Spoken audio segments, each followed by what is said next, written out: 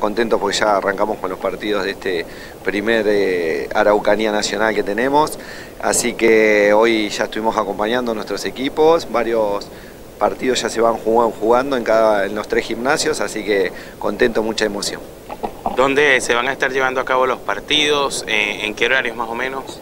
Bien, en el día de mañana vamos a estar eh, jugando lo que es Tierra del Fuego en el gimnasio polivalente de artes a partir de las 9 de la mañana con masculino, 11 femenino y posteriormente a las 17 de la tarde también en el polivalente de arte y a las 19. ¿Hoy contra quién jugaron los equipos de Tierra del Fuego?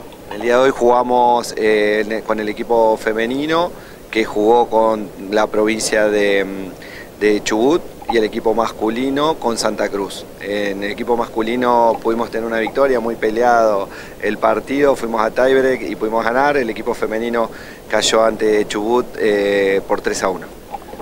Te quería comentar también cuánta gente se recibió en la provincia por eh, justamente la actividad.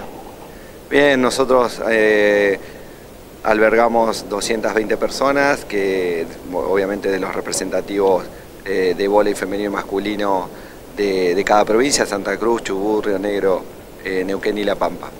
Hacemos la invitación a la gente para que se sume mañana a apoyar las elecciones de Tierra del Fuego. Sí, invitamos a toda nuestra provincia, a toda la gente acá, los vecinos de Ushuaia, eh, a, alentar a los equipos de Tierra del Fuego, recién, como decía, a los lugares en donde van a estar disputando los partidos y en los horarios.